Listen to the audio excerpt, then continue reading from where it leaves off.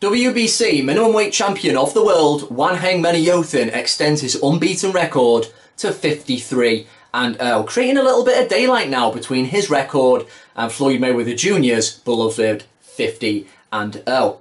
He defeated Tatsuya Fukuhara of Japan in a rematch. It went the distance again.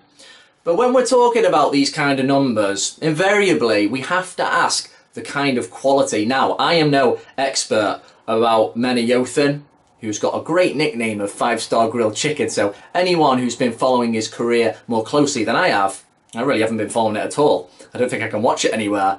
Uh, feel free to inform me. But when you're talking about 53 and now, of course, Mayweather was often scrutinised on the principle of, oh, you've got a zero, you obviously haven't really fought that many great prime fighters. I'm not so sure whether Menayothin possibly might be guilty of the same kind of thing. Now, Ring TV magazine or the Ring website anyway, they've actually got Menayothin rated 2 in the minimum weight division. They've got another Thai. Um, let me just get his pronunciation here. Thammanoon Niyomtrong. I've absolutely destroyed that, I'm sure. But another amazing nickname, Knockout CP Freshmart. I don't know what's going on with these nicknames, but they're quite memorable.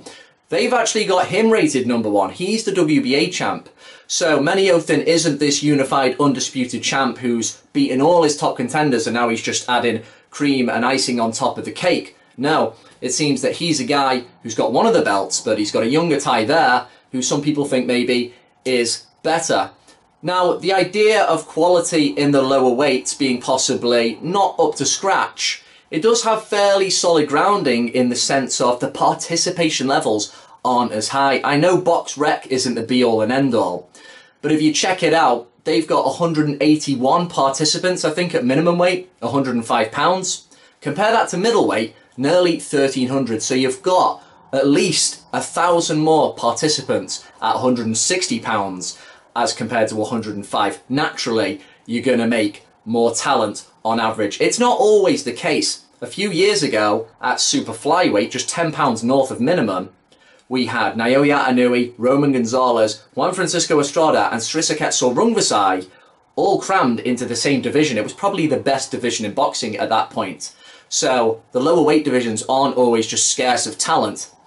But generally, and looking at this case as well, a lot of these guys just purely by numbers don't seem to have fought very much. Some of them may have come from kickboxing, often happens in Thailand.